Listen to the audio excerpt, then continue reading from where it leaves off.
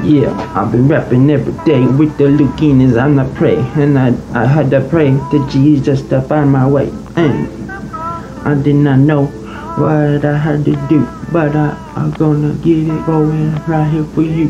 Ooh. We're still out there. This was in the backpack. Hmm.